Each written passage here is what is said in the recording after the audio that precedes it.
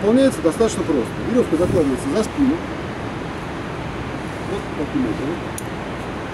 Затем мы подхватываем снизу руками, обеими руками веревки и берем их в руки. Желательно, чтобы были перчатки.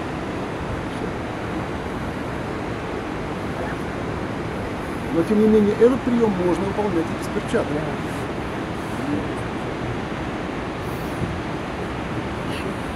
Спуске по веревке мы всегда используем перчатки, поскольку руки жалко. Но поскольку есть тормозное устройство, то они вполне, вполне, как говорится, э, заменяют нам усилия. Итак, вот мы берем веревку таким образом и начинаем двигаться вниз по склону. Что здесь важно? Важно, чтобы наши ноги стояли на ширине плеч или даже чуть шире, а наше тело располагалось перпендикулярно склону.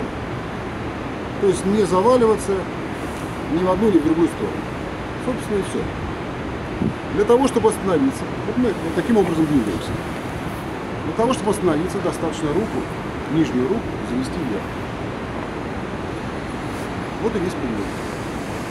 Итак, у нас сейчас здесь 4 станции, 4 вверх. Сейчас каждый отправляется на станцию, пробует